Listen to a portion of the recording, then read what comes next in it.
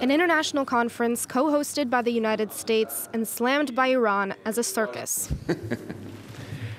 Uh, on the Wars Warsaw Conference, I, I, believe it's dead on arrival or dead before arrival. I don't think it would do anything. Uh, it's another attempt by the United States to pursue a, an obsession with Iran uh, that is not well founded. U.S. Secretary of State Mike Pompeo and Vice President Mike Pence are both attending the conference in Warsaw. Initially, the Trump administration said the two day meeting would focus on Iran, but later broadened the scope to touch on other conflicts, including Syria and Yemen. But much of the schedule has been vague, amid deep divisions over policy towards the region. A discomfort reflected in the guest list.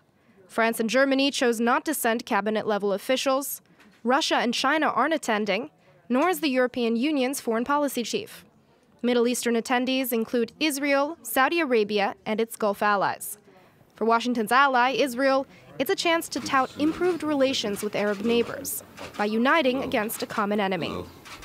I have to tell you that the courageous decision of uh, Sultan Qaboos to invite me to Oman is changing the world. Uh, it's, uh, it's pointing the way for many others to do what you said not to be stuck in the past, but to seize the future. One of the biggest points of contention is the Iran nuclear deal. Besides Israel, the U.S., and Iran's regional rivals, nearly all countries still back the denuclearization accord.